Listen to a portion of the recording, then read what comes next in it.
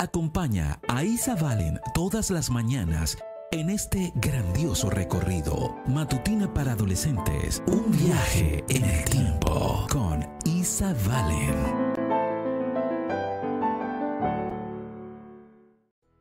Buenos días, bienvenidos a Matutinas con Isa Valen.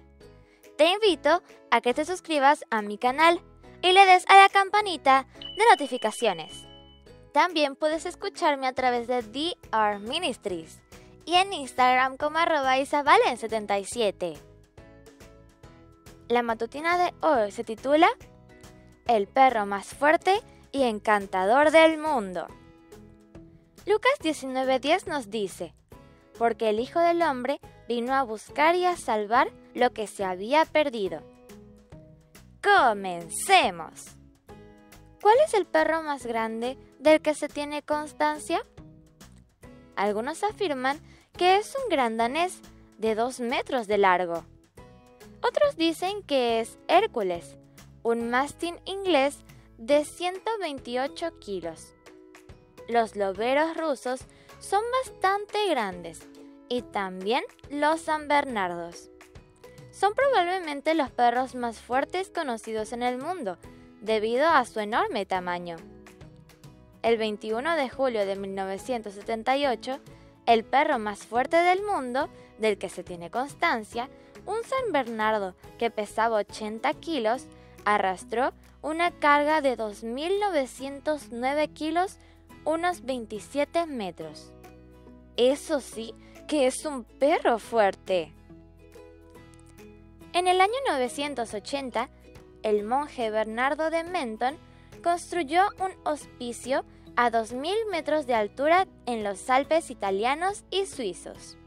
Su misión, rescatar a los viajeros que se perdían o quedaban varados en las profundas nieves de ese puerto de montaña. Para ayudar, utilizó una raza de perro gigantesca que se hacía conocida como San Bernardo.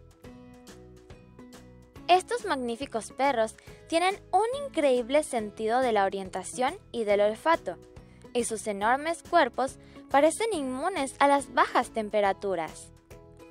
Se cuenta la historia de uno de los San Bernardos que trabajaba para un monasterio en los Alpes suizos.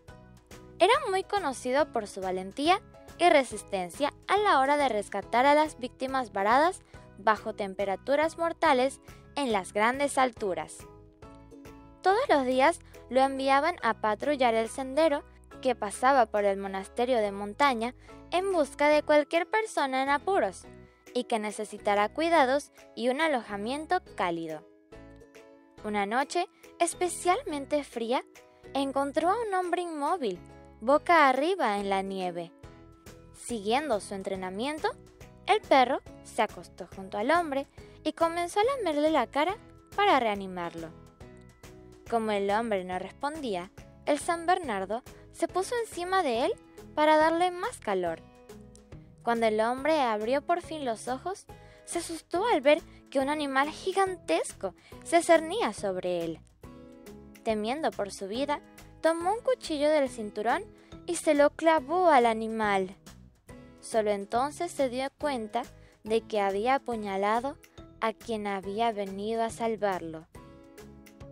Los paralelismos entre esta historia y el sacrificio de Jesús son evidentes.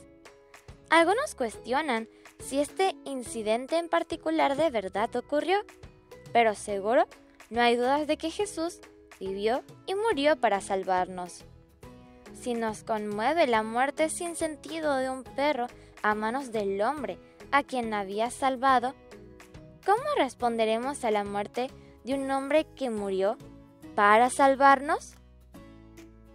Leamos una vez más el versículo.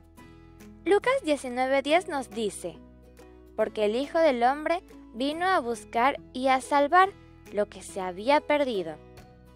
La matutina de hoy se tituló El perro más fuerte y encantador del mundo. Mañana te espero con otra maravillosa historia. Comparte y bendice.